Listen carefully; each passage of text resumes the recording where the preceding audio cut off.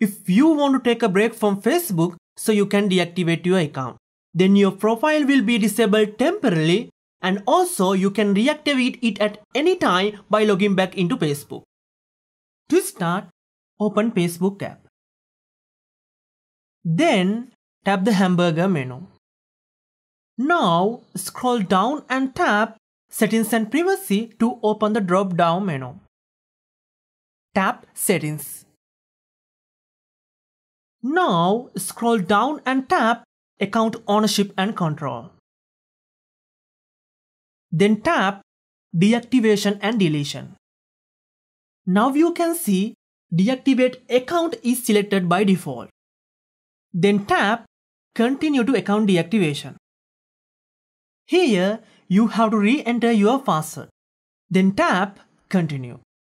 Here let them know what is the reason to deactivate your Facebook account. You can select any of these. Tap Continue.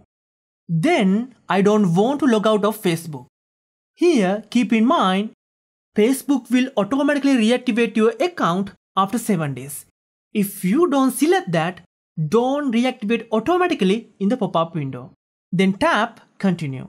Here, I don't want to keep using Messenger, so I will leave it alone. Then check opt out of receiving future notification from Facebook. Then just tap deactivate my account.